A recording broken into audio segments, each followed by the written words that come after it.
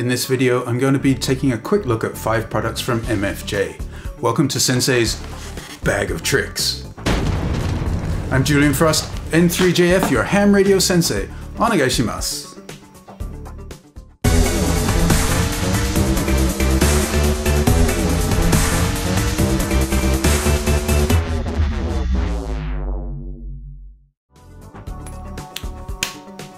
Hmm, okay. The coin toss means we work our way from lowest price to highest price. So let's start with the MFJ 281 Cleartone speaker. The Cleartone speaker, which retails for about $20, is an unamplified speaker which requires no power and plugs directly into the speaker socket of your radio. These are great for mobile use in your vehicle to point the sound directly towards you rather than to the floor or the ceiling. They're also great for use at home for exactly the same reason. It's a very basic speaker with no controls for volume or tone. The speaker comes with a mounting bracket and associated hardware, and the speaker cable is about 5.5 feet long. That's the MFJ 281 Cleartone speaker. Moving up to about the $40 mark, we have another speaker, but this time it's amplified. The MFJ mobile amplified speaker outputs 6 watts and requires 12 volt DC to operate. The speaker comes with a cigarette lighter plug already attached, so it's ideal for mobile use. If you prefer another kind of connector for powering the speaker, it's trivial to cut off the cigarette lighter plug and attach the connector of your choice. The speaker has an on-off power switch and a volume control and comes with a mounting bracket. The cables are plenty long enough for most mobile applications. The MFJ 383 Mobile Amplified Speaker. Stepping up to around $70, we have the MFJ 842 VHF, UHF, SWR and watt meter. This compact cross needle meter simultaneously reads forward power, reflected power and SWR. There's a button on the front to select between the two power ranges, 15 watts and 150 watts. There's a built-in backlight and there's even a pigtail included in the box for providing the 12 volts that's required just for running the light. The meter itself doesn't require any external power source. The meter can be used from 140 to 525 MHz and can handle up to 150 watts average power. The display is clean and really easy to read. That's the MFJ 842 VHF, UHF, SWR and watt meter.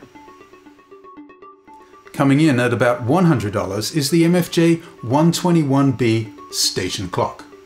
You can buy digital clocks quite cheaply, but this one, as it says in the box, is two atomic clocks in one.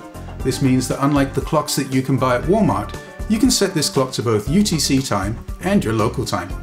The clock doesn't come with batteries, so you need to supply two AAA batteries. Yeah, hang on.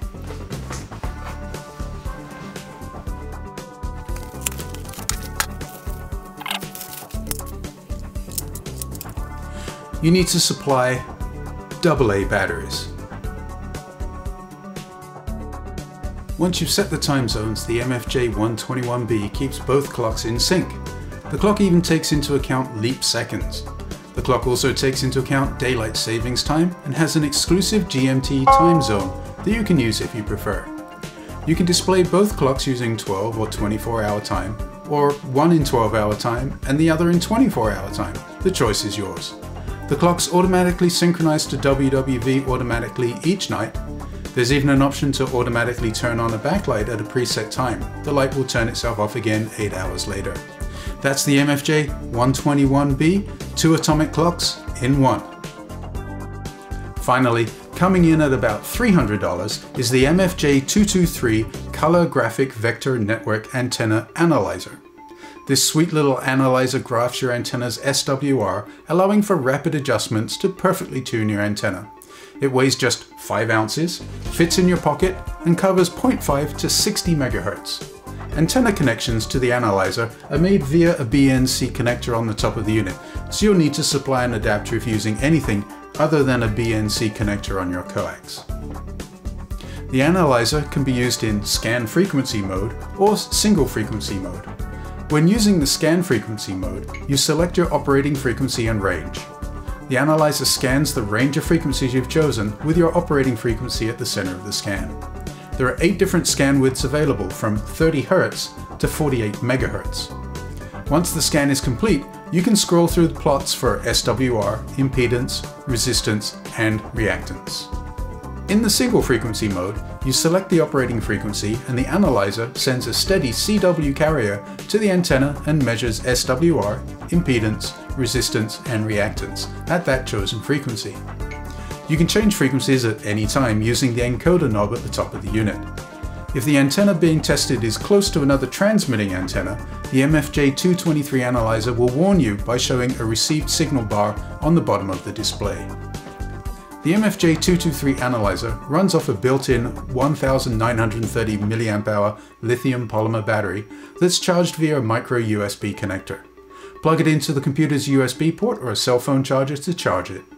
The battery gives you several hours of use per charge, and the LCD display is completely readable outside, even in the midday sun. I've checked the MFJ223 against another analyzer, the Zoom 230BLE, and found it to be just as accurate on HF. And that's your quick look at the MFJ223 Vector Impedance Antenna Analyzer. Well, once again my bag of tricks is empty for now. I hope you enjoyed this brief look at some of the items in the extensive MFJ product line. Links to all of the items you've seen here are in the video description.